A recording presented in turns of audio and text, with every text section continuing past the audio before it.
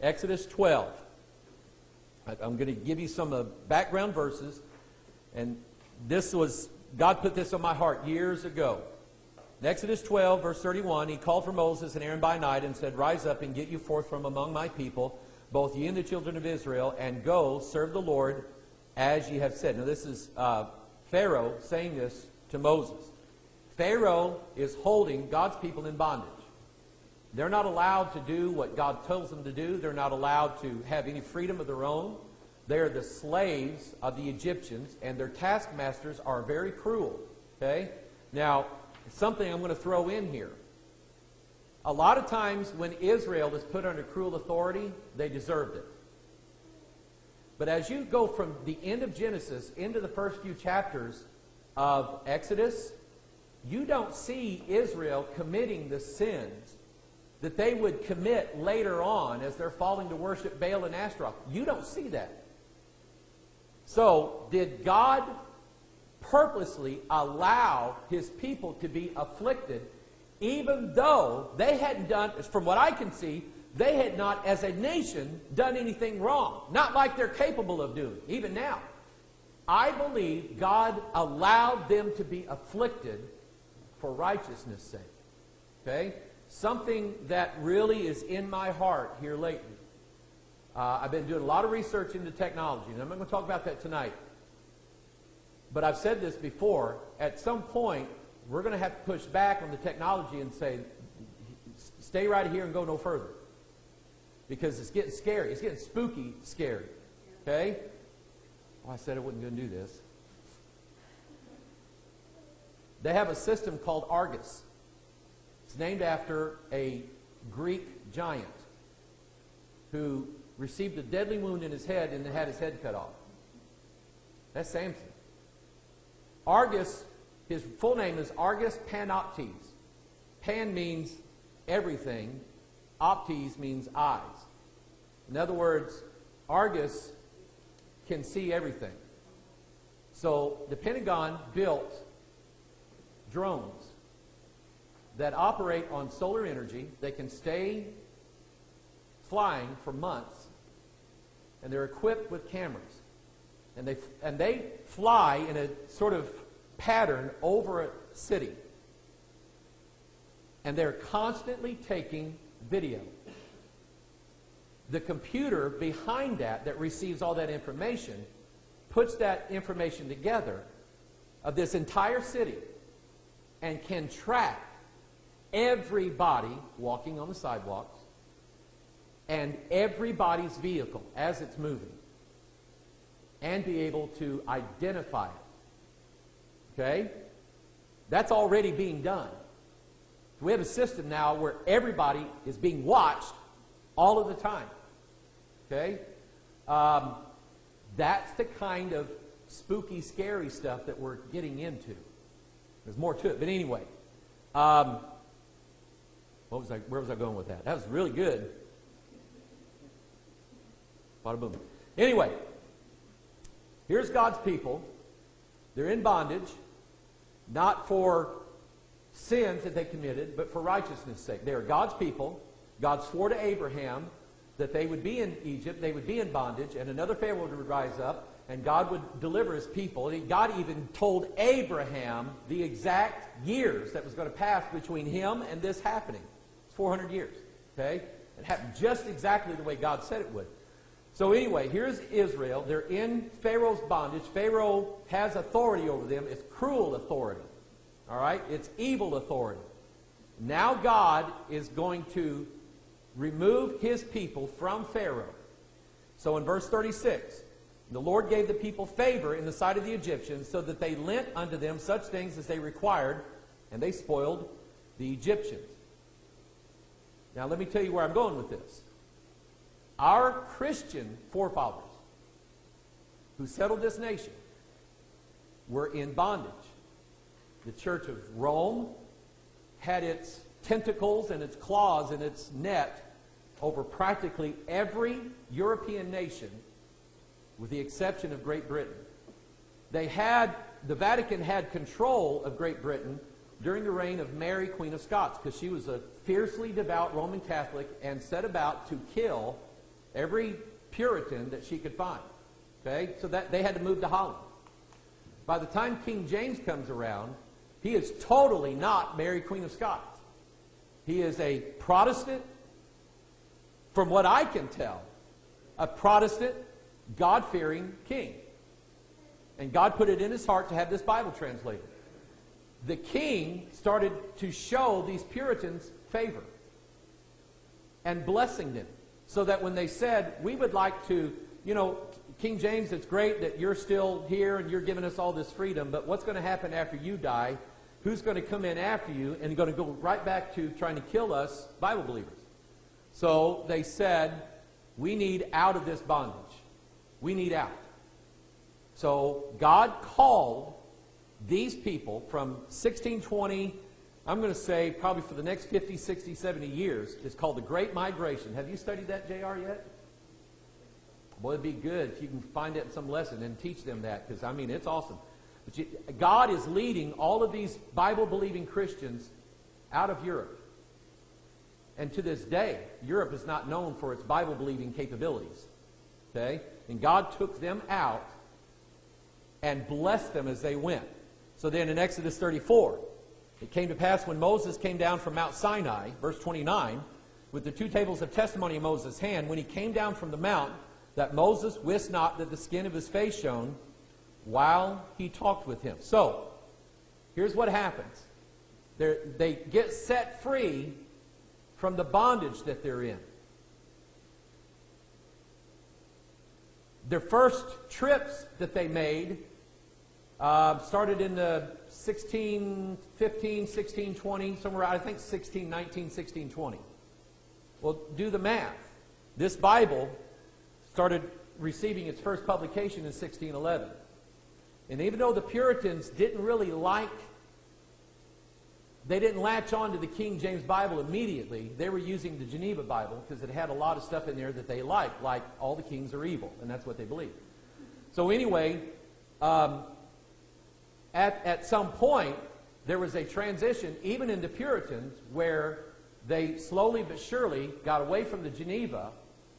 And it may have something to do with the fact that now that they're overseas in the Promised Land, they don't have access to the printing capabilities to pr- print the Geneva Bible, and they just make this transition to the King James Bible. Okay? And what I'm showing you is God did something similar, at least in my mind. God did something very similar with his Bible believing people who were in bondage in a, in a terrible way. God gave them, just like here in Exodus 34, God gave them his law, his commandments, his covenant. That's what he did. He gave them the copy of his word.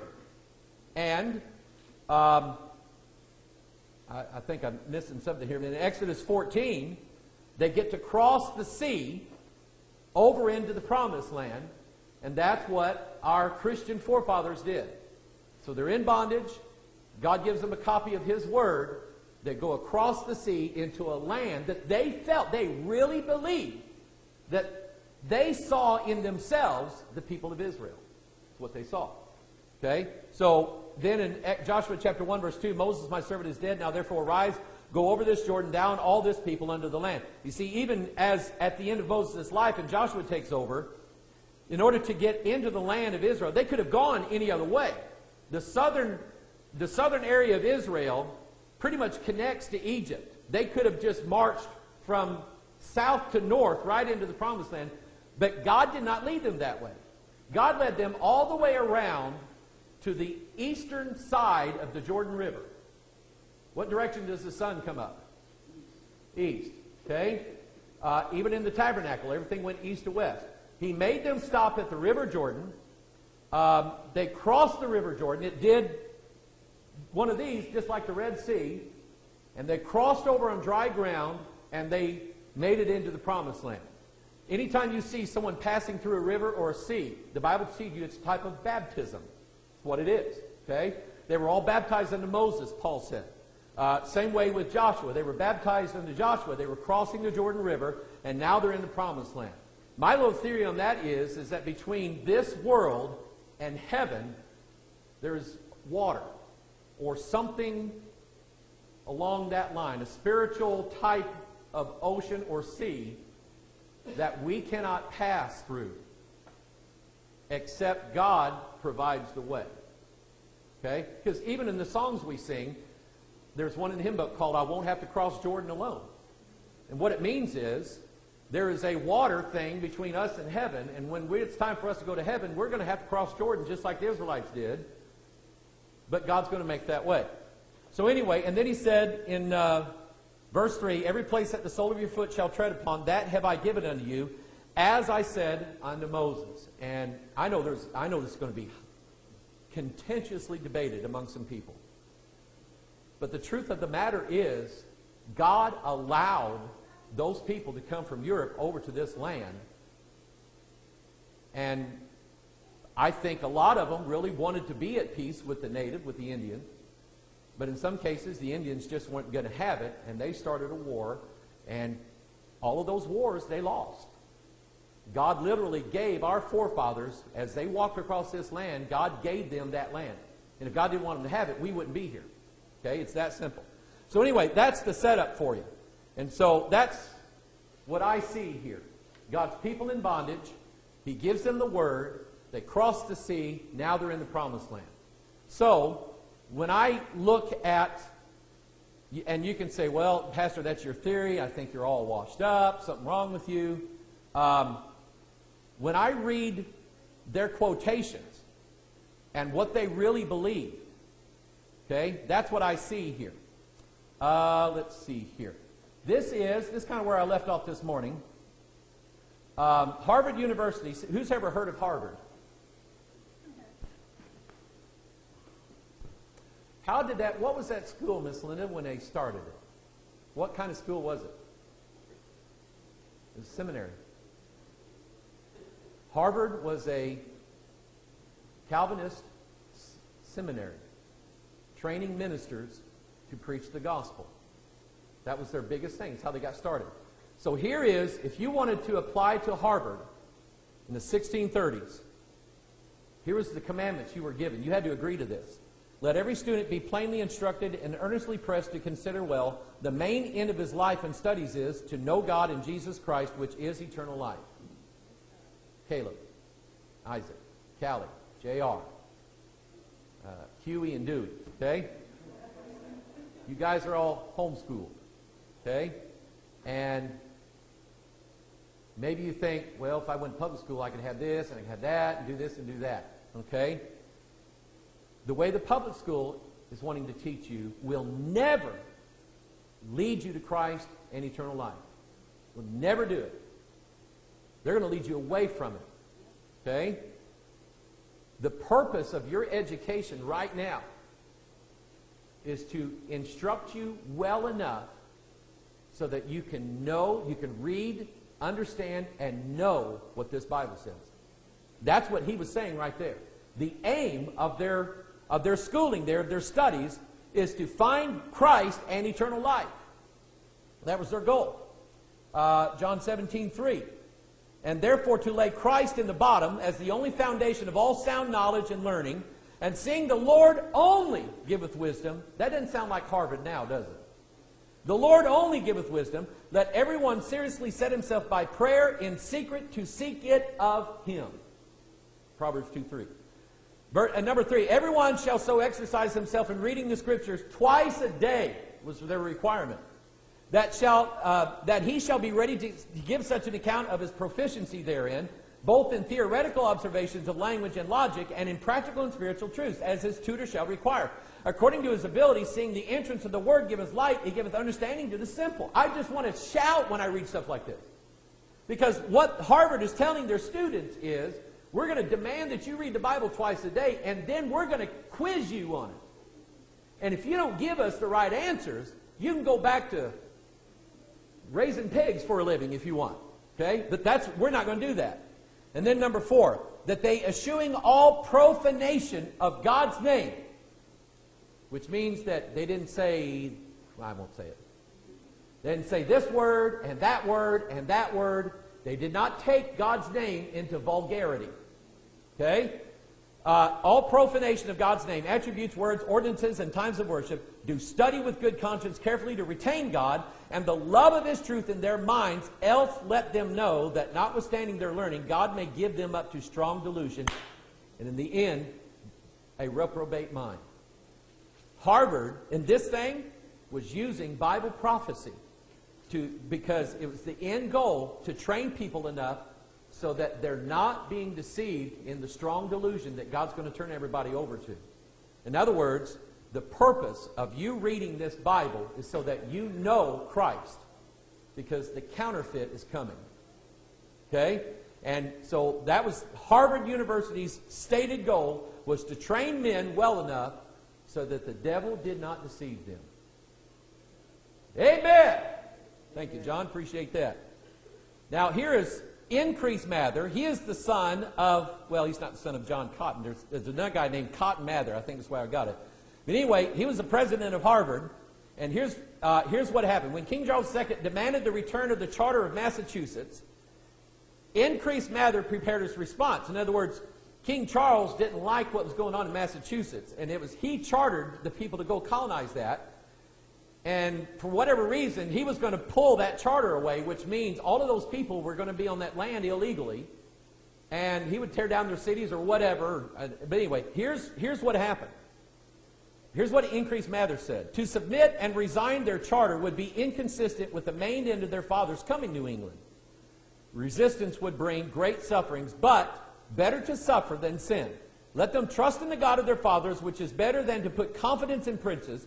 And if they suffer because they dare not comply with the wills of men against the will of God, they suffer in a good cause. And again, you don't hear people talking like that anymore. Connecticut. Connecticut is formed as a colony. They must have a government in Connecticut. So here is something similar to a constitution. It's called the Fundamental Orders of Connecticut. This was done in 1639. So that's what, 28 years after the King James Bible? Let's look at the effect. Okay? It was the first constitution written in America, establishing a pattern which all others followed, including our own United States Constitution. It was penned by Roger Ludlow after hearing a sermon by Thomas Hooker, the Puritan minister who founded Hartford, Connecticut.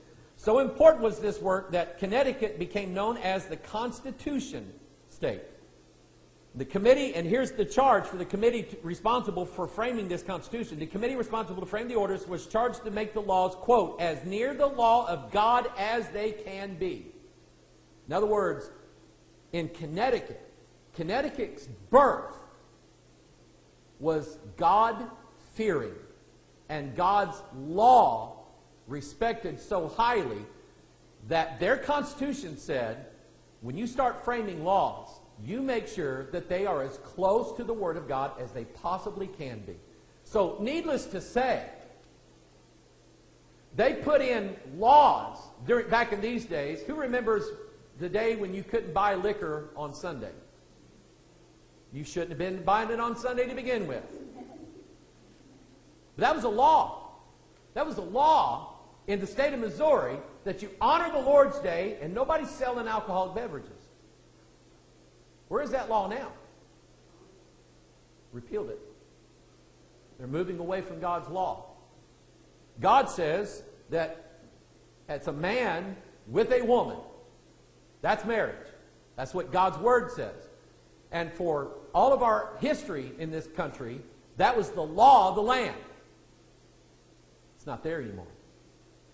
Even after we voted 10 some odd years ago, 80% of the people of the state of Missouri changed the Constitution to say marriage is between one man and one woman.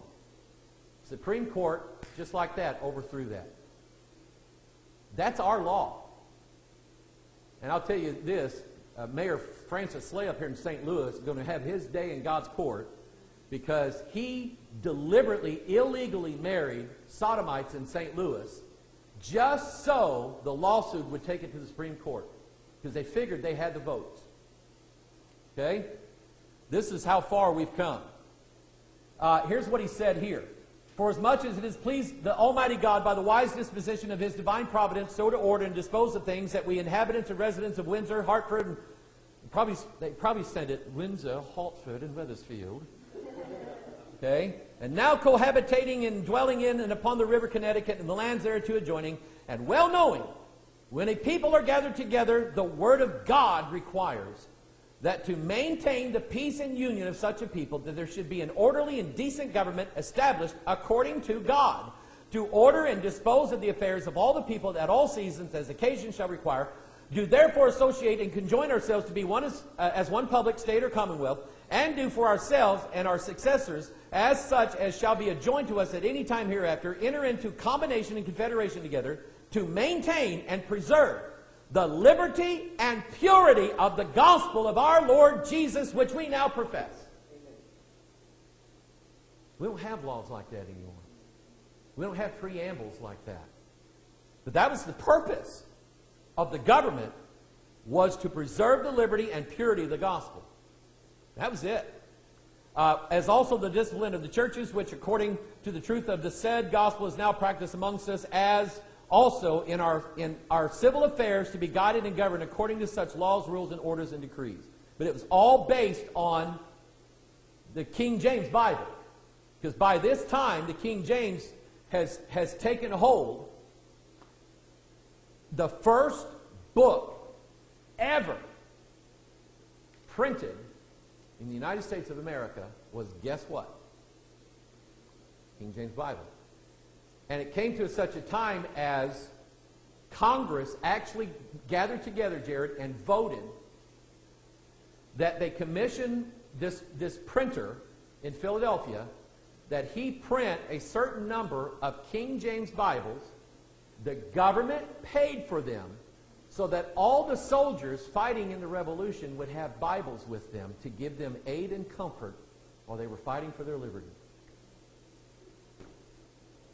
We don't, we don't have that anymore. Um, here's the oath. If you were going to be the oath of the governor of Connecticut, if you're going to be the governor of Connecticut, here's your oath. Being now chosen to be governor within this jurisdiction for the year ensuing and until a new be chosen, do swear by the great and dreadful name of the ever living God to promote the public good and peace of the same according to the best of my skill, as also will maintain all lawful privileges of this commonwealth, as also that all wholesome laws that are, that are and shall be made lawful and authority here established be duly executed, and, here's his oath, will further the execution of justice according to the rule of God's word. So help me God in the name of the Lord Jesus Christ. And we live in such a time as when Rick Warren prayed the inauguration prayer at Obama's first inauguration, he refused to say the name Jesus. Okay? Uh, wait a minute. I'm, I'm getting that wrong. He did, but then he included the Muslim Jesus, Isa. You go, you go to YouTube and type in Rick Warren's prayer, and you'll hear it. He invoked the name of other gods in a blessing over that president and over this nation. That would have never, never been allowed at this time. You, couldn't run, you could not run for public office and, and believe that lie. Uh, here's what Article 1 of their Constitution said that the Scriptures hold forth a perfect rule for the direction and government of all men and all duties which they are to perform to God and men, as well in families and commonwealth as in matters of the church. That's in their Constitution. It's not there anymore, but that was in their original laws that ruled Connecticut. Article 2, that is, in matters which concern the gathering and ordering of a church, so likewise in all public offices which concern civil order, as the choice of magistrates and officers, making and repealing laws, dividing allotments of the inheritance, and all things of like nature, they would all be governed by those rules which the Scripture hold forth to them. The Bible was final. The Bible, in their minds, had the authority over their constitution. That's what I still believe. That if God's law requires me to do something, and man's law seeks to prohibit that, I have to choose God's law over man's. So let me just ask you Do you foresee a time coming? The pendulum's going to swing back the other way. And they will take that opportunity to further encroach on our ability as a church to say certain things that are in this Bible, such as Sodomites go to hell. Okay?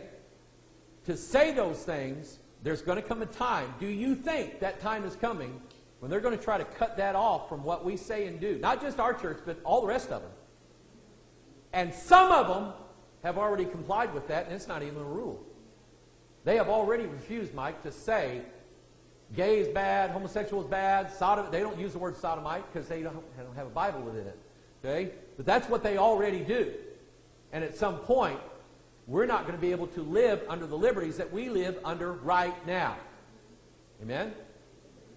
We have a family, and I want you to pray for them. Her name is Laura. She's a follower of this church. Uh, she's in the, I think, the group on Facebook. She in that group, okay? She lost her whole house to fire the other day. I didn't see the pictures, but was it totally, her house totally burned up. Everything that she had gone, with the exception, they found her King James Bible in there. It's charred, but it was there. Okay? Did I say that right? Because you saw the picture. Okay? Here's the thing. This lady and I guess her family has just lost every possession they had. Just like that. But they still have the Lord, don't they? And um, I've told, told the family, and I'm telling you guys, I'm telling those that watch us, if we can help out for this family with anything, I think we ought to do it. Okay? Uh, but anyway, um, what was I saying about all this? Anyway, let's move on. I've been losing, I lose my th- train of thought three times today already. Constitution, of New England Confederation, 1643. Oh, here's what, I'm, here's what I was saying. When you lose everything you've got in a fire, there are some things that are so precious that you cannot live without. She can live out without the hair dryer, the bed sheets. She can live without the couches and the paintings on the walls and everything like that.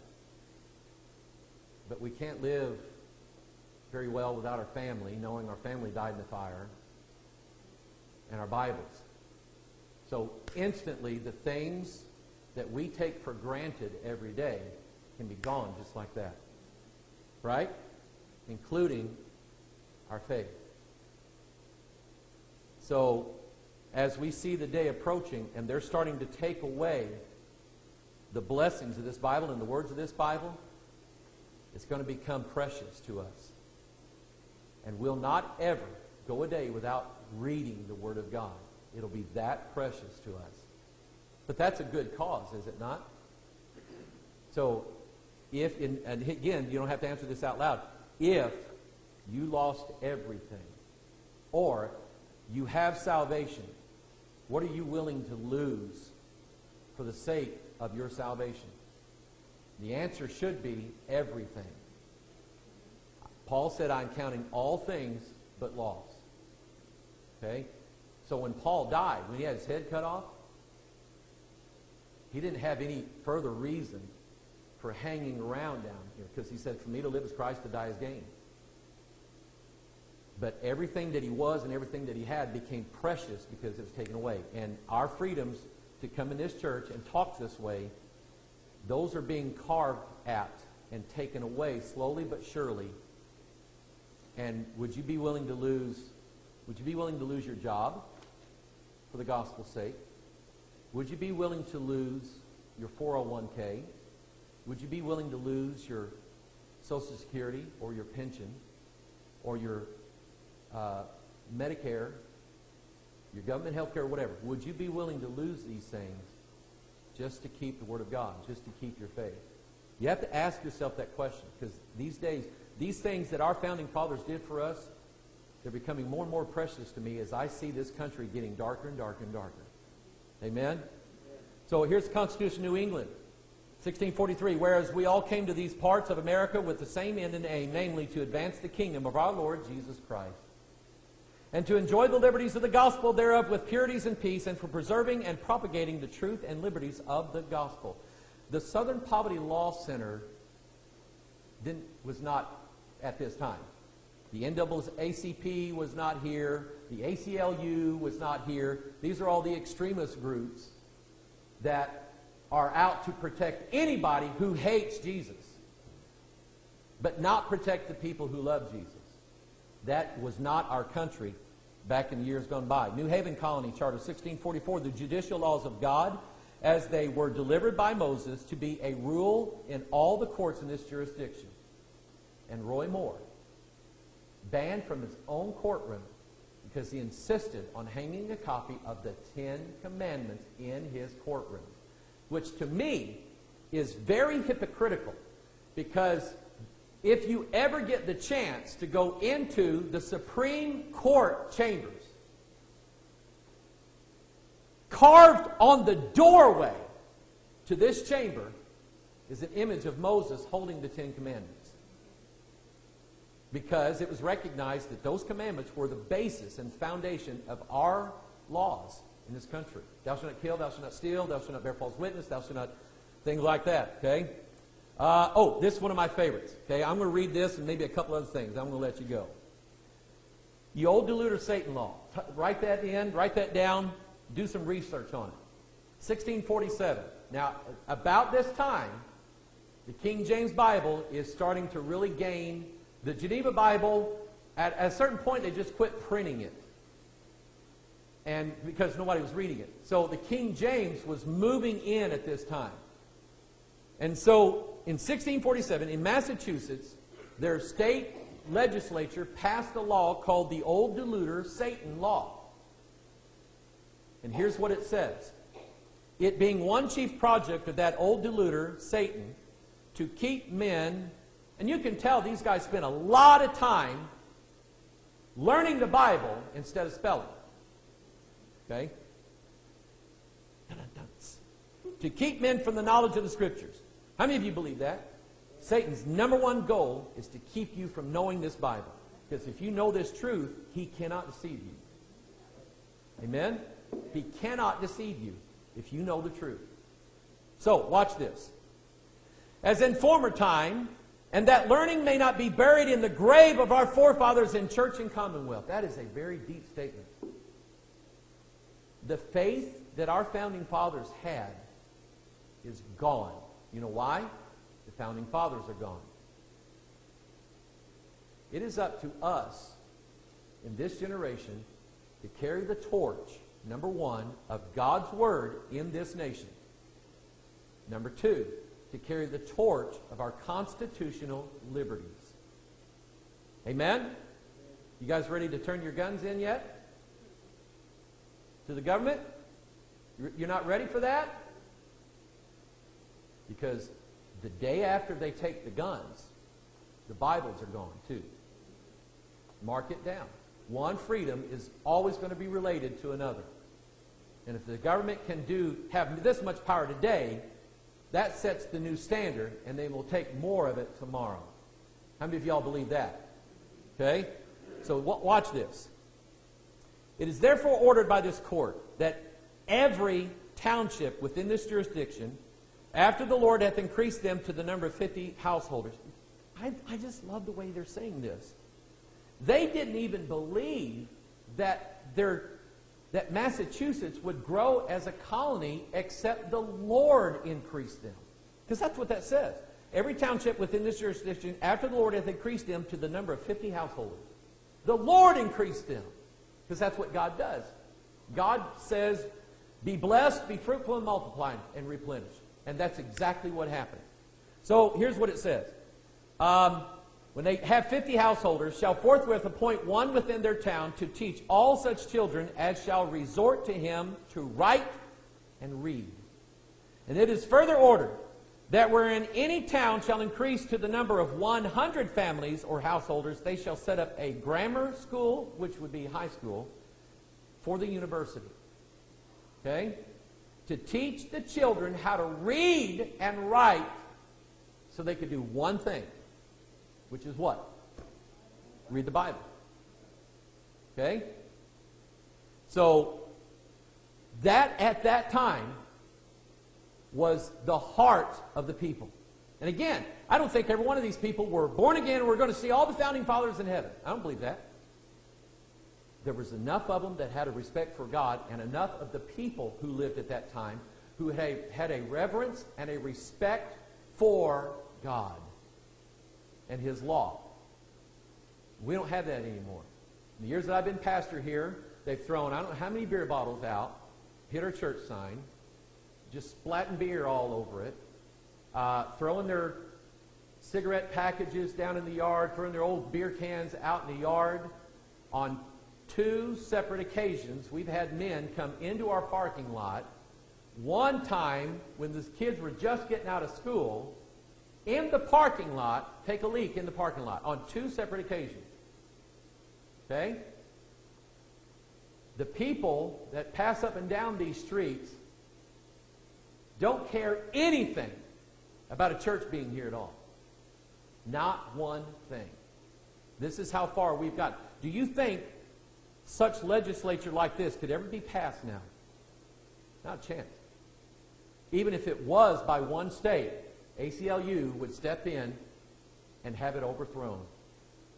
Okay? This is where we are right now. So the purpose of the Deluder Satan law was to educate people enough so that they could not be deceived by Satan. And look at our nation now. People are embracing communism. Who remembers a day when if you were a communist, you should be dead in America? Am I right? Am I right? Okay? There was a time when if you were a sodomite, you didn't, you didn't have a very good life. Okay? There was, there was a time in this nation when the people still respected the house of God, the place of worship. They don't anymore. They don't care. They think nothing of it. And so what's happened is, since 1963, the Supreme Court outlawed every school in America from opening with prayer. Made it illegal to pray as a school.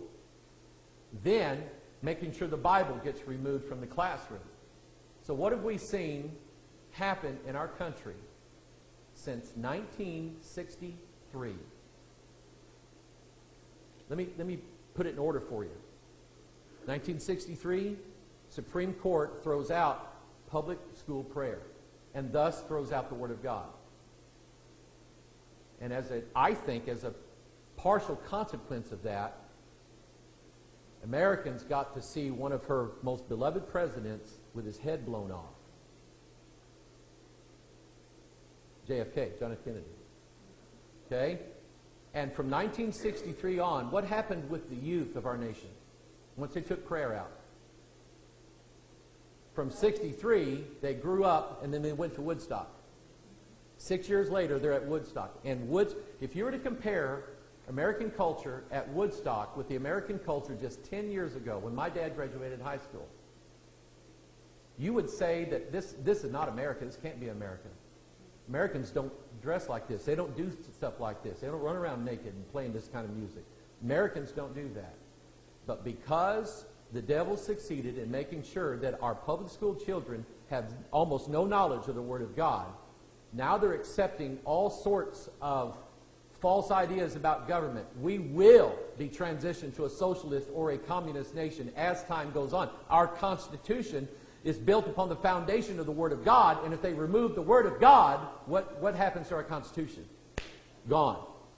Uh, okay? Without, without that foundation, what's built on it is going to fall, and it's built upon the foundation of the Word of God. So since we removed the knowledge of the Word of God from our public school students, they're now believing socialism, communism, they're reading Marxism. We elected a president of the United States for eight years who swore to everybody that he was a Marxist, Barack Obama. And be, uh, believing communist is what he was. And communism is directly against the Word of God. Okay? And it does not allow for the practicing of the preaching of the Word of God. Anyway, here's what I'm saying. We have already seen the results in our lifetimes of what happens when you remove the Word of God and prayer from people. What happens to their children? What happens when those teenagers at Woodstock grow up? Now they're running companies. And now they're promoting things in this country that is just absolutely going to destroy us. Okay? And all of that is done because people's ignorance of the Word of God and what it brings. You see, you see why this is such, to me, it's a big deal. Learning where we came from so that when these people on the news and these people in Congress or whatever try to tell you that, well, we need to be open and free society, we need to embrace everybody. You know what? If they want to come in legally, let them come in. But don't tell me I can't preach the gospel to them. Amen? Because they need to hear it. And we've already seen the results of what happens when the Word of God is taken away from a generation of people. I wonder what we could see if Melissa was successful in getting through to JR and Caleb and Isaac and Callie and Michaela. Who else? Jade, okay. If she was successful in her ministry to get the Word of God founded in their lives, so that when the storms come by in their lives six years from now, seven years from now, they're able to withstand it because of the foundation of God's Word. They're not going to fall for stuff, and this is what we pray for. Okay? I love you because he decided that his girl, look at, look at these people. Look at that. Isn't this sickening? Daddy holding his daughters like that. Sickening, isn't it, Courtney? I know it. But God put it in his heart how long ago? Homeschool? Three and a half, almost four years ago. What grade are they in? What grade are you in? Eight? Eighth grade. I can remember in eighth grade, I was being introduced to literally everything under the sun in junior high school.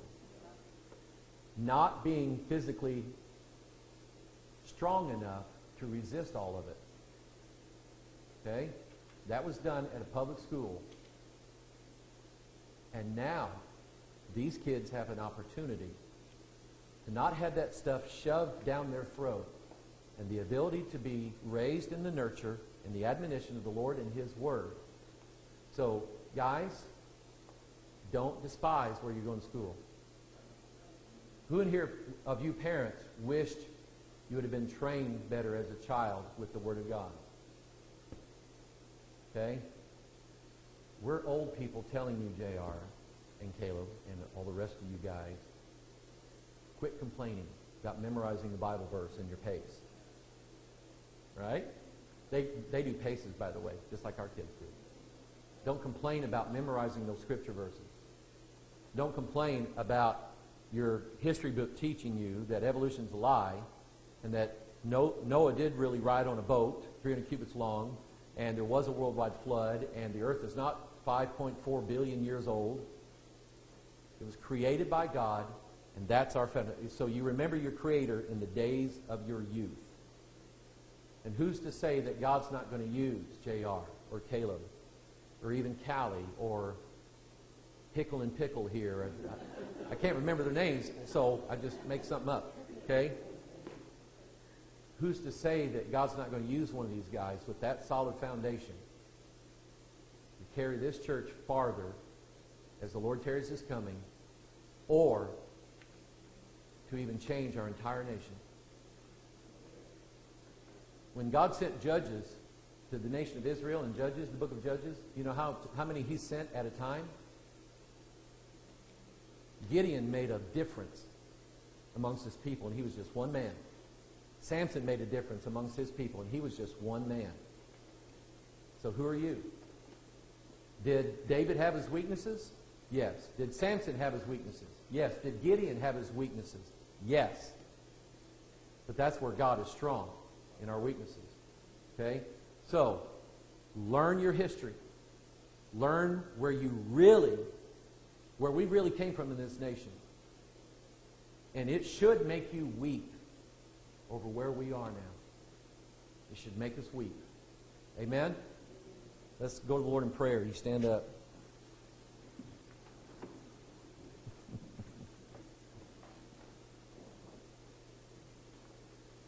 I could, I could read these things all day long. Charter of Rhode Island, Char- Charter of Carolina. Um, for the propagation of the Christian faith. Um, Peter Bulkeley saying that we as America are a city set on, on a hill. Where did he get that from? He got that from the scriptures. I'm telling you, these guys, 1600s, early 1700s, they believed that what was happening in America, they were reading it from the Old Testament because God did it that way with the Jews. That's what they really believed. And I don't think they were wrong. I don't think they were wrong at all. I think God had a special purpose for this nation, and there has not been a nation anywhere at any time that has done more to spread the gospel than the United States of America. The denominations got their early start in Europe. But when they came here and were planted, they found very fertile ground. And God used these denominations all throughout the years to send missionaries all over the world to preach the gospel to these people. What are we doing now? We're selling them Joel Osteen books. Ain't right. Amen? I love my country. And I'm very thankful that I have the liberty to say what I believe God tells me to say. And I don't want trouble over it. I don't want to be arrested over it. I don't want to have to pay a fine or lose this building or whatever. But it's not going to stop me. It's not going to stop any of us, is it? Because this is all we've got. Amen? Father in heaven, I love you. I thank you for your Son, Jesus Christ. I thank you, Lord, for this Bible. And Lord, it does, it really does speak to every generation that's ever lived. It speaks very loudly, speaks very plainly. And every part of our lives can be seen in this book. And Lord, even our nation and its triumphs and its wickedness, its blessings and its cursings, Father, our nation can be seen in the Word of God and what you're doing and what you're going to do. So, Father, I know what your Bible says about a nation that turns their back on God. I know what you said you would do. And God, I don't want that to happen. But I know you're wiser than I am, Father, so I'll let you do what you know is best. But Father, every day I'm going to pray for my country and for my people that we keep having the liberty that we have. So, Father, this time of year, we start making a list in our mind of things that we're thankful for. And Father, the, one of the best things and the biggest things that I'm thankful for, Lord, is that you birthed me as an American. And Lord, you've even brought others over here who have had a new birth as an American. Father, help us to love our country, pray for our country, stand for our country, stand for what's right. And don't let the devil try to stop us. Thank you, Lord, for gathering us today. Thank you, Lord, for an awesome day. Thank you, Lord, for this good food and your word. We love you in Jesus' name. All God's people said,